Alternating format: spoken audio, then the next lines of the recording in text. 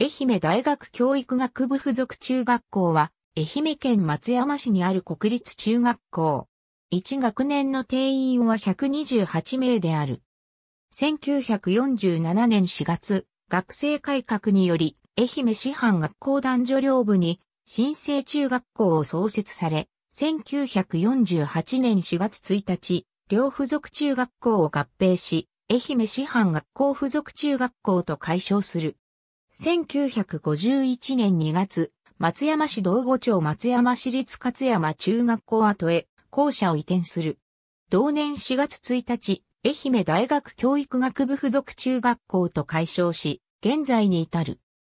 1956年には国立学校として移管された農学部附属農業高等学校が設置されているが、両者の間に中高一貫教育優先入学制度はなく、中学3年の修了後は、近隣で同じ持田町にある愛媛県立松山東高等学校への進学者が大多数を占めていたが、2011年度より付属、小学校からの内部進学、及び付属高等学校への内部進学制度が開始される。付属小学校と同一敷地に所在する。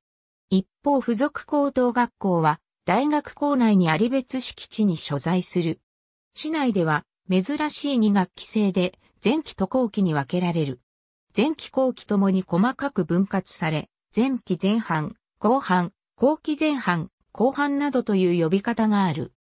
また、前期と後期の間には、秋休みが1週間程度設けられる。また、弁当持参制で牛乳のみ配布されるのも特徴の一つである。校訓、真理と正義の追求勤労と責任の尊重健康な心身の連磨。ありがとうございます。